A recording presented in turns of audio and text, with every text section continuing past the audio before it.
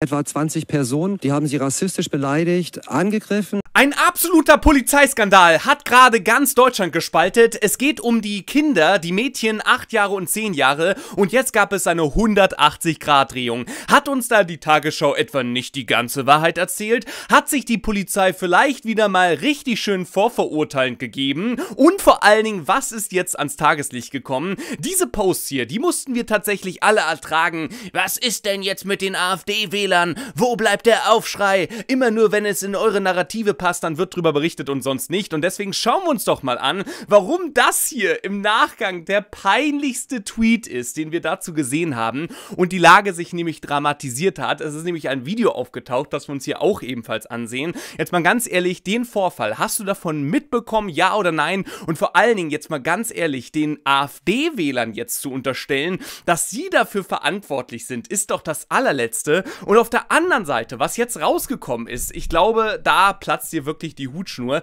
weil es ist wirklich schlimmer, als du es dir vorstellen kannst. Also es ist noch perverser, sage ich jetzt schon, als Mannheim, kann man sagen, zumindest von der Berichterstattung.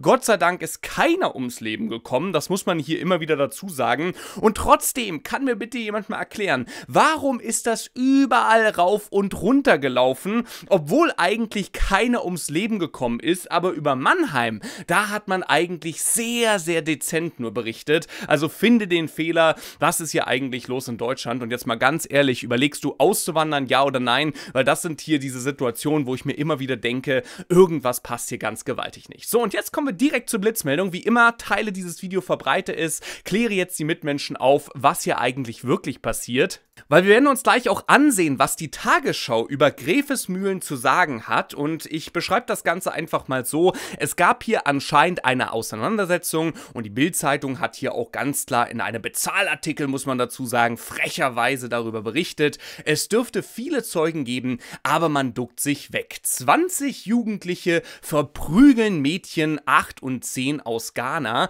Das war die Headline. Damit hat man doch wieder alle, die von rechts kommen, in einen Sack gestülpt und hat sie im Endeffekt vorverurteilt. Es gab natürlich auch wieder in den Mainstream-Medien ganz viele, die sofort natürlich von rechter Gewalt gesprochen haben. Und das finde ich immer wieder sehr, sehr interessant. Ne? Wenn wir immer wieder solche Fälle in Mannheim sehen, dann wird eigentlich immer nur von einem psychisch kranken Täter gesprochen. Äh, ja, wir wissen nicht, ob er Migrationshintergrund haben könnte. Die Nationalität wird weggelassen. Das heißt, es wird eigentlich alles getan, um diesen Täter irgendwie zu decken oder zu schützen. So kommt es einem zumindest vor, jetzt mal ganz ehrlich, wenn eben bei einem deutschen Täter die Nationalität auf einmal genannt wird, aber bei einem einem afghanischen Täter anscheinend nicht. Ja, und ich kann dir jetzt schon sagen, und das wird richtig heftig, was da für eine Wendung kam. Vorher aber noch ein ganz wichtiges Detail, das wissen die wenigsten. Der öffentlich-rechtliche hat die Aufgabe, und ich bin mal gespannt, schaust du den öffentlich-rechtlichen überhaupt noch? Schreib's gerne in die Kommentare.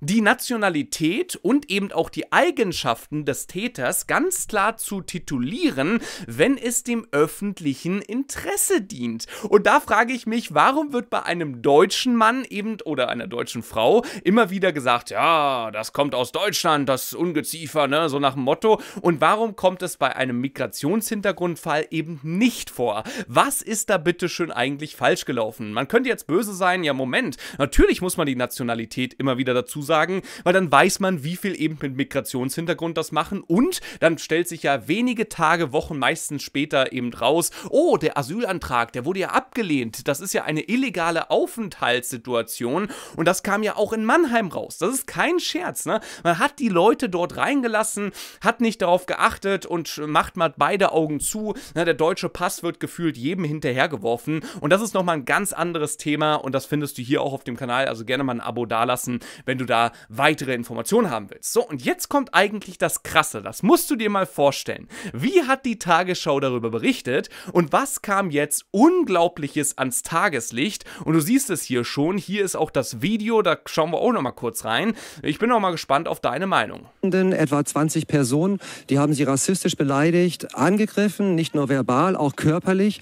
Dem achtjährigen Mädchen wurde ins Gesicht getreten. Dann kam der Vater dazu, der hat sich wahrscheinlich einen Finger gebrochen, weil er jemanden aufhalten wollte.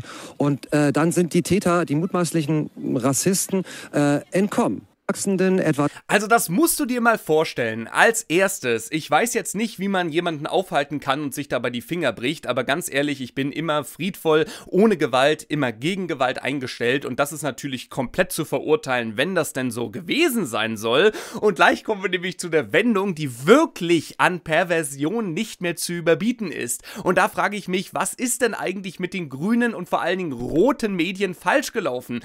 In Mannheim ist halt wirklich das passiert, was sie berichtet haben, die alternativen Medien. Und hier kommt es gleich zu einem sehr krassen Wendepunkt. Aber vorher, äh, natürlich waren es mutmaßliche Rassisten, ne? ist ja ganz klar. Also hier wird auf einmal vorverurteilt. Aber wie habt ihr es nochmal in Mannheim gemacht? Ne? Da habt ihr doch äh, gesagt, ja, vermutlich ist er psychisch krank und ja, man kann jetzt hier nicht von einer politischen äh, Angriffssituation sprechen. Also jetzt mal ganz ehrlich, deine Meinung dazu wird mich echt interessieren, was du von der Tagesschau hältst. Also das ist für mich persönlich so ein doppelter Standard, der hier an den Tag gelegt wird. Und wisst ihr, was jetzt das Krasse ist? Und deswegen verbreite dieses Video, teile jetzt deine Mitmenschen auf.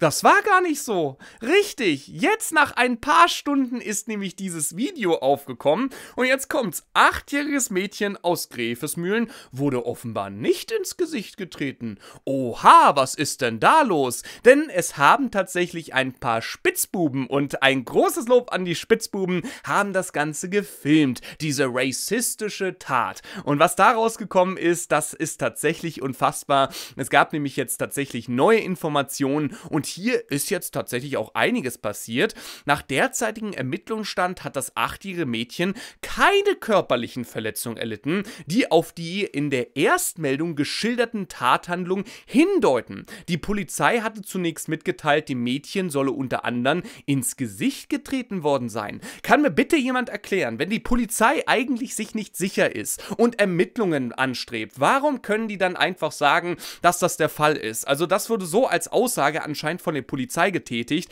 Da frage ich mich, wie kann das sein? Ihr habt hier einfach vorverurteilt und dementsprechend bei allen anderen Taten, wo immer der Täter mit Migrationshintergrund auftritt, da hat man das Gefühl, da, äh, ja, wir dürfen uns dazu nicht äußern, weil das ist ja ein laufendes Verfahren. Wir müssen jetzt eruieren. Also ganz ehrlich, das ist wirklich krass, was hier passiert. Ihr habt das doch wirklich, und da haben viele böse Kritiker auch das Ganze so aufgeschnappt, nur deswegen berichtet, weil es eben perfekt in dieses Narrativ passt, dass auf einmal jeder in Deutschland eben rechts ist, nur wegen irgendeiner dummen Aktion und dämlichen Aktion von irgendwelchen Jugendlichen. Und nein, ich will hier nichts runterspielen. Ich war selber nicht dabei, aber ganz ehrlich, das Video, das werden wir auch im nächsten Video mal ansehen, das ist einfach nur irgendein Mobbing-Video. Es wird laut gebrüllt. Äh, anscheinend geht es den äh, Kindern hier anscheinend auch so gut, dass sie zumindest auch noch irgendwie laufen sich gegenseitig halten und wegrennen können. Also auch da ist die große Frage, was stimmt denn jetzt? Also ich bin gespannt. Es ist eine 180-Grad-Drehung hier passiert. Teil dieses Video auf jeden Fall weiter und deine Meinung dazu mal gerne in die Kommentare schreiben.